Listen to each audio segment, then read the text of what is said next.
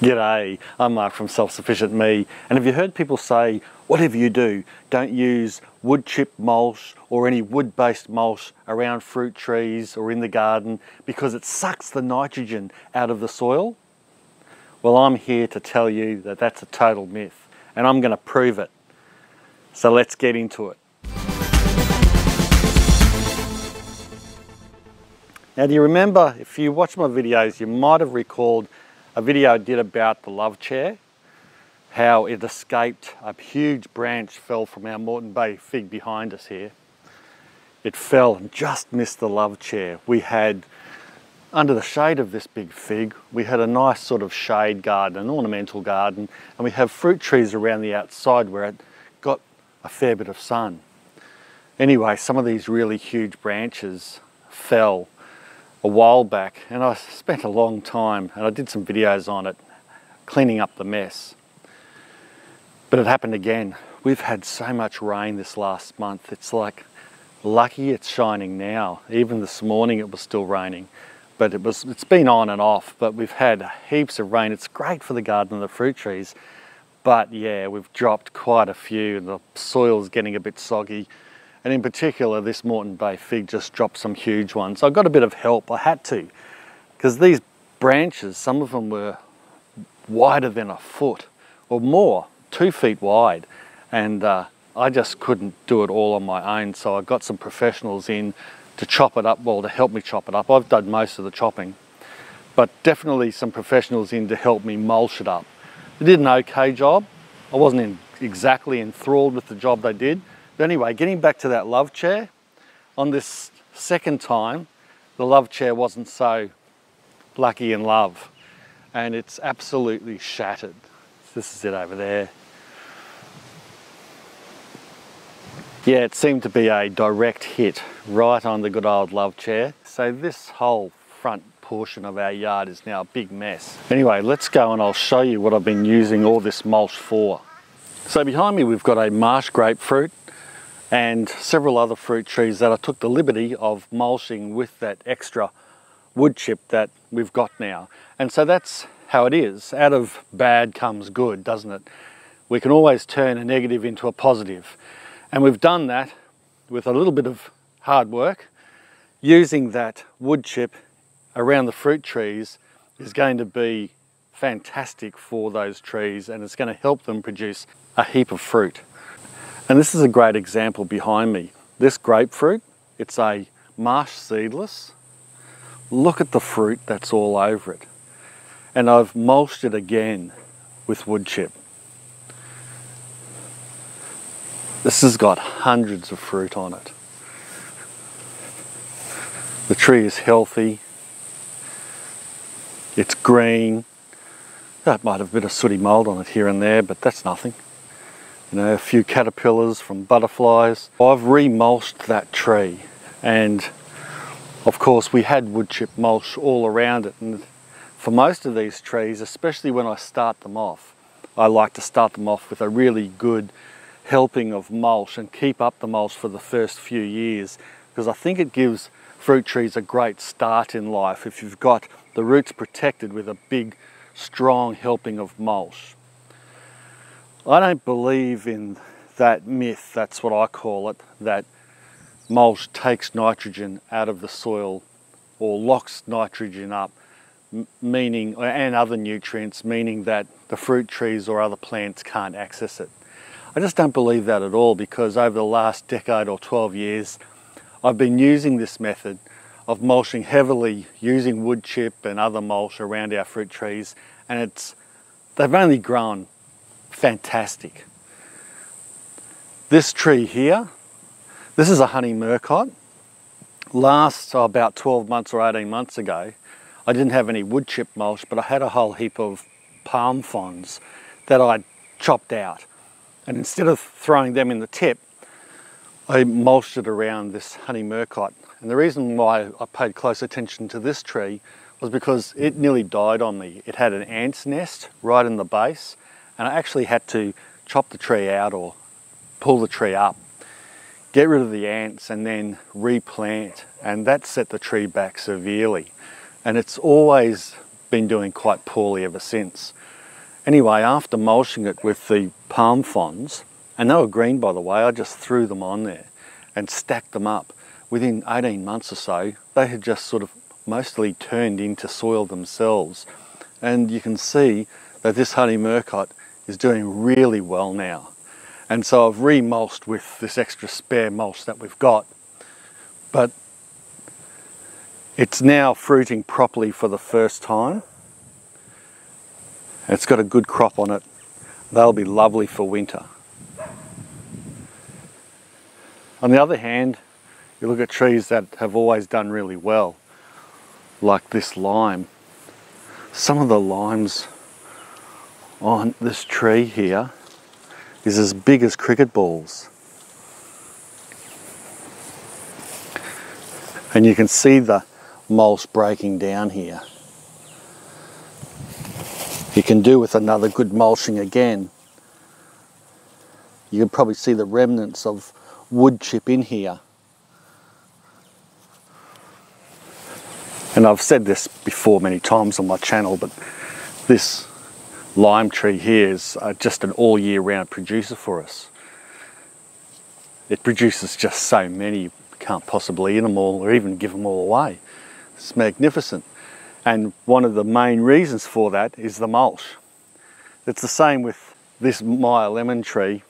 All we've done is mulch it heavily and I spoke a lot about that in that video one of the main reasons why it was so productive.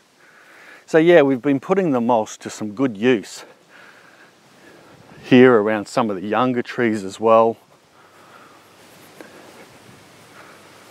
We've got a young Valencia orange over here, that's a seedless one. We've got a, a, another Valencia orange that's a seeded one through there. But yeah, I've just mulched that heavily, give that young tree a good start. And I'll, and I'll take you back over to the other side and show you uh, where I've also utilised a lot of this mulch. So along here we've got a range of different fruit trees or food plants from this curry tree here to a Ceylon hill berry, a couple of apple trees, a fruit of the Andes, beautiful avocado. This is an Endrell which I'm going to have to pick that avocado very shortly. But that's got about 13 fruit on it.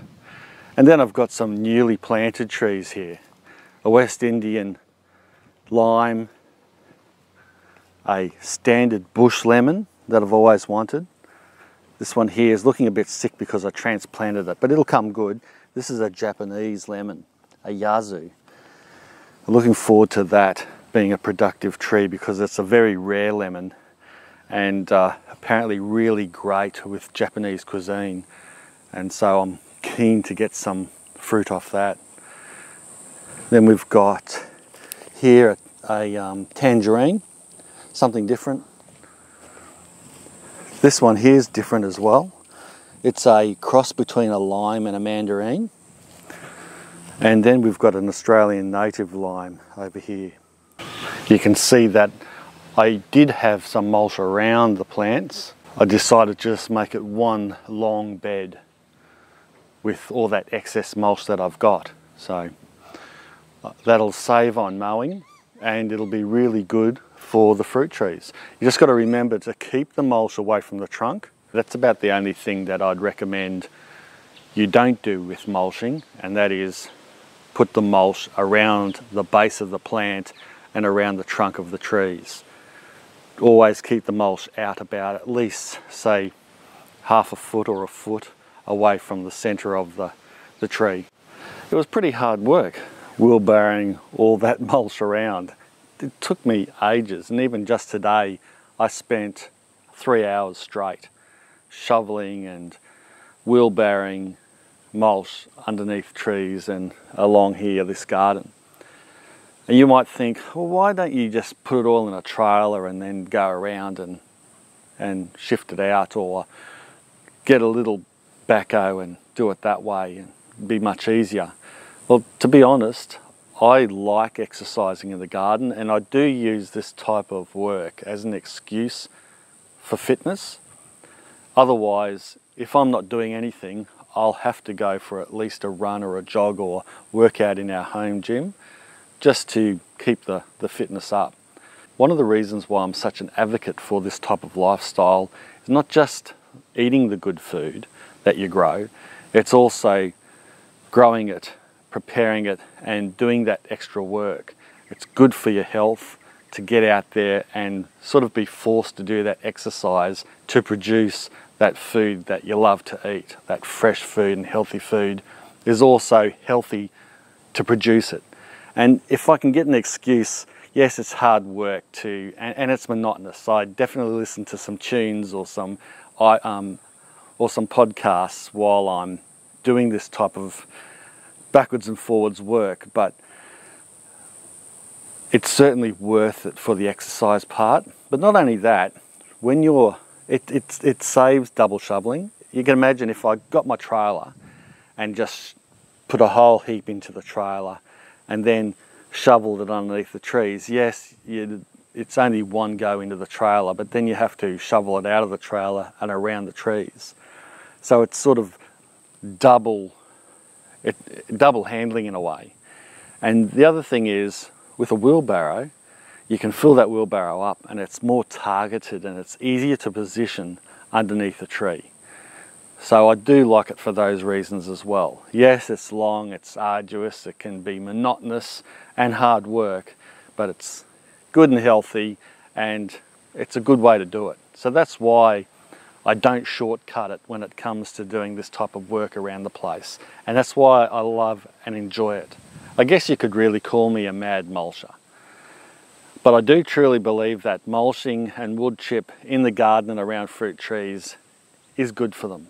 Certainly much better than not doing it. If, say hypothetically, there is some argument that wood chip sucks a little bit of nitrogen out of the soil. Say it does, say you notice that your fruit tree is looking a little bit nitrogen deficient, the leaves are a little yellow, and, and you've just happened to be placing mulch around the base of it. Perhaps it's not the mulch, it might have gone like that anyway. And an easy way to fix it is by giving a little bit of fertilizer. In a case of a citrus tree, give it some citrus fertilizer with some trace elements, and that should fix it up anyway. But that mulch will break down underneath the tree and what it'll do is those microbes and the fungi and all those things that help that mulch break down will also help the tree to grow and absorb nutrients better and therefore create and give more fruit. So forget the naysayers, forget anyone who says don't mulch your trees because it's bad, because it sucks the nitrogen out and your trees will be worse for it. Don't believe that. Get into mulching, mulch around your fruit trees and in your garden, your vegetable patch. They will love you for it and they will produce more fruit and veg because of it. Well, I hope you got something out of that video and I hope you enjoyed it. If you did, give it a big thumbs up. Don't forget to subscribe to the channel if you haven't already and share the video around. Thanks a lot for watching. Bye for now.